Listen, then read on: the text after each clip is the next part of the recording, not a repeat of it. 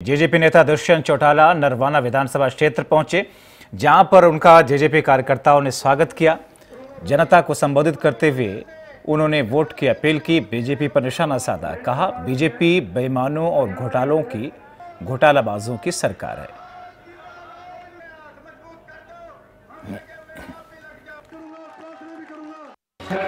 से पूछने का काम करो कि कभी चोर अपने आप को चोर कहता है और कभी ईमानदार आदमी को ईमानदारी दिखाने ज़रूरत नहीं पड़ती। जो चोर होता है, वही ईमानदारी के ढोल पीटने का काम करता है। पाँच साल में खट्टर साहब की सरकार ने पाँच हज़ार करोड़ रुपया सिर्फ़ माइनिंग के ओवरलोडिंग में खाने का काम किया। हज़ार करोड़ रुपया इस रोडवेज़ को बर्बाद करने के लिए किलोमीटर स्कीम में खाने का काम किया।